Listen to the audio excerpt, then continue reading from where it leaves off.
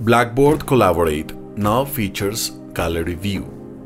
We understand that an effective learning experience is only fully achieved if the instructors can connect with students in ways where they can pick up visual cues and see how their students are performing and understanding the class materials to better engage with any needs and doubts.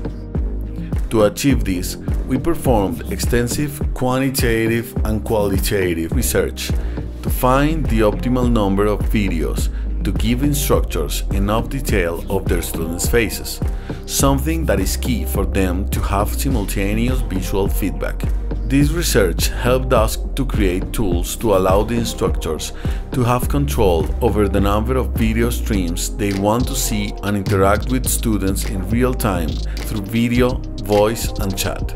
Blackboard Collaborate now features the ability to have 25 simultaneous video feeds with the option to slide through pages when the session has more than 25 attendees to give instructors and students a better learning experience. This new feature is added to the other great tools that Blackboard Collaborate already offers, like an interactive whiteboard, screen sharing, breakout groups, session recording, and more.